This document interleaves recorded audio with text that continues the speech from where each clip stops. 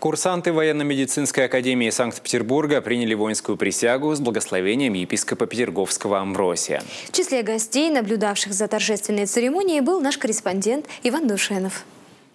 Когда-то по этой земле ходили Павлов, Пирогов и Боткин, а ныне маршируют присягнувшие на верность Российской Федерации курсанты.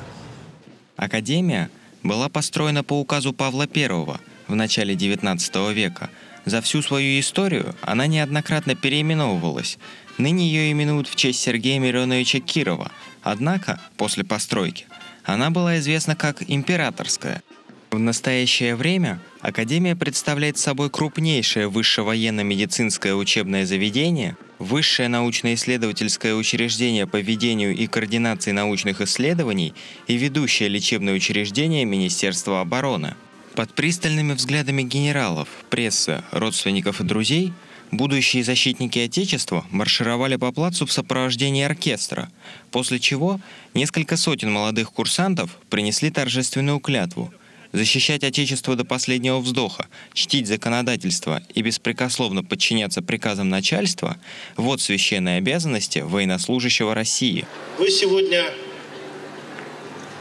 одели форму, вы сегодня взяли в руки оружие – и сегодня перед строем своих сослуживцев, своих товарищей вы присягнули на верность Родине, на верность долгу.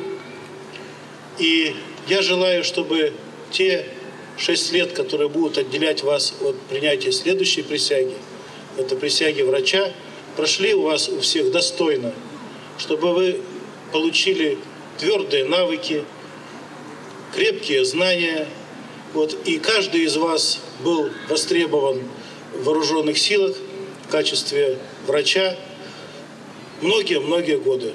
Всего вам хорошего. К слову говоря, священник тоже перед тем, как получает рукоположение, принимает присягу. Это говорит о том, что и военный, врач, священник, человек, который не работает в часы, отведенные в течение рабочего дня остается таковым в жизни. Это говорит о том, что предстоящая жизнь есть не просто работа, а есть служение. И для курсантов это служение с принятием присяги началось уже сегодня. Товарищи курсанты, поздравляю вас с приведением военной присяги, а весь личный состав Академии с новым пополнением.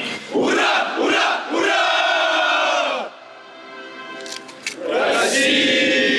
Что же, Бог в помощь присягнувшим на верность России курсантам. Надеюсь, что они с толком будут использовать полученные знания, оставаясь верными до смерти, сражаясь с врагами Отечества и Господа Бога. Но главное, чтобы все мы помнили, что главный враг не снаружи, а внутри нас –